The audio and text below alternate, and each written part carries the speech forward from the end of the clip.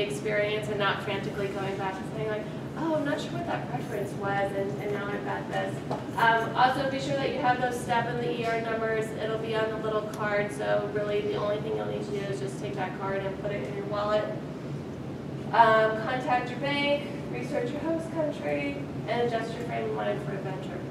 So I think that that about covers it. Sorry, I took up probably more time than needed, but if you do have any questions, um, feel free to shout them out now, or you can follow up with me through email, or stop by the study abroad office, so. yeah. Mhm. All right, so let's say I had a run-in with the law, Okay, stole some pasta or something, I don't know. and, Okay. you know, I'm in a high-speed foot pursuit, action packed, running on rooftops, whatnot. Once I make it to the consulate, I'm safe, right? They can't do anything.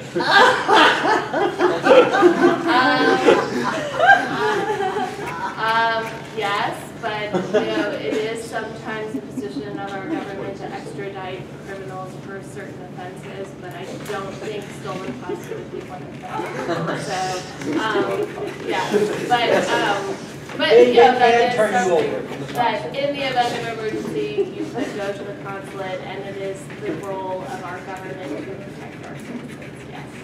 So, Good to know. please Good, good question. Oh, okay. Good question. Well, we can have some fun. Any other questions, concerns at this point? If that, if that's your only concern, I feel okay, I think. All right, great. Okay. Thank you, Marcia.